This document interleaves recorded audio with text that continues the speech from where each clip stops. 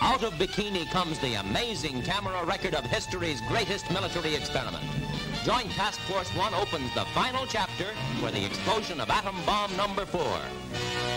On nearby Kwajalein B-29 base, on a ramp paralleling the airstrip, an airplane waits to be loaded with the deadliest of cargoes. Last-minute preparations of Dave's dream move ahead. Months of planning mount to a climax.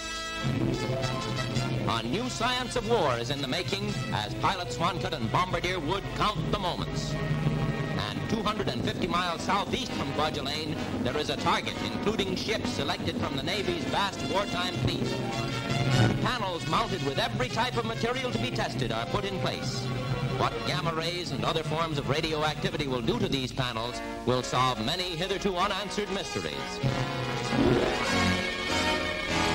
Rats and mice go aboard the target ships. Over 3,000 of them.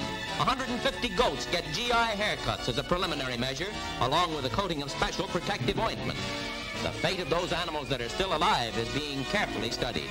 It may take months to calculate the full effect on life.